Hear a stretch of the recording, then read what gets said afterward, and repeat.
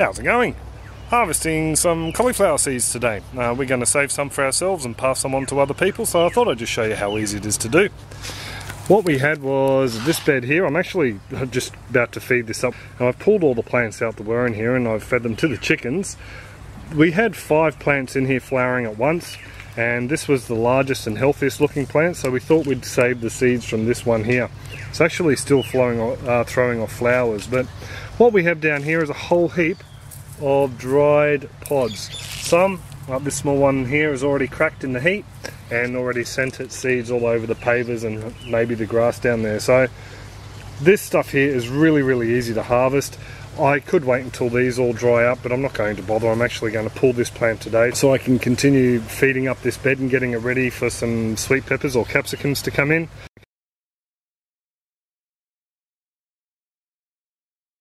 All I'm doing is trying to collect the heads that look the driest because they'll have the most mature seeds in them. Some of the pods are actually popping open as I'm snipping them off.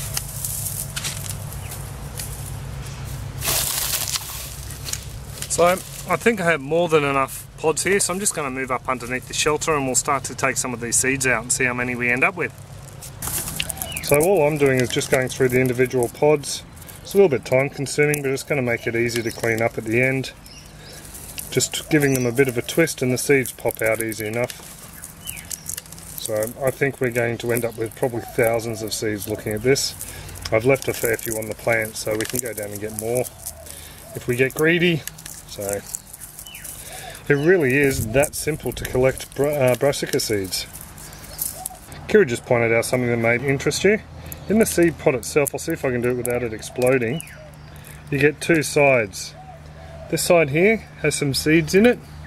One's already fallen out, so we've got three, three seeds from this side here. And then there's this little papery film in the center that divides the seeds. So I'll just pull them out, see what we end up with. Here we go.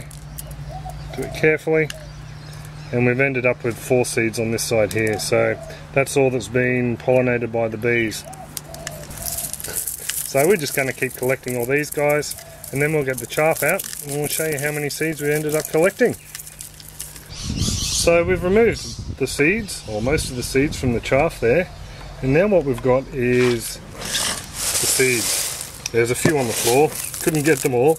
Uh, so what I need to do now is try and remove these larger bits from the seeds. So I thought what I'd do is I'd just grab my little orchid pot here, something we've used as a pump guard in the aquaponics before. Just pull these through.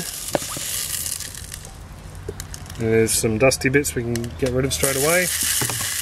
give it a bit of a screen, bit of a shake through here. So just pretty much we're left with some chaff down there in the bottom, so that can go straight away. Still got some larger ones in there, I might do it one more time. There we go, and we can get rid of those bits there. Just makes it a little bit easier to do the final clean. Now for this stuff here, we're pretty lucky because today it's fairly breezy. So all I can do is just pour this from one container to another. Don't know if this is going to come out. What's happening is the breeze is picking up some of those small bits, you can probably see in the top right hand side of the screen there, and just blowing them off. So I'm also left with a bit of dust in there.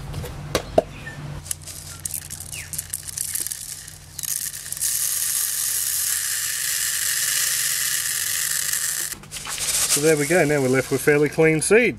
So it's a pretty easy process. It's actually rather fun to do. So, and here we go, these are the seeds that we ended up collecting from all those pods. So just a quick note, with the brassicas, it's good to only let one variety go to seed at once or one go to flower at once. You don't really want broccoli and cauliflower to go off at the same time because you'll end up with a bit of a mixed variety.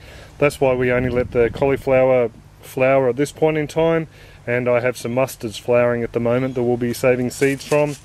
And then once the mustards have got some pods set we're going to be saving some seeds from the broccoli out the front. So just thought I'd give you a bit of a look at that. It's really easy to save these guys seeds so there you go.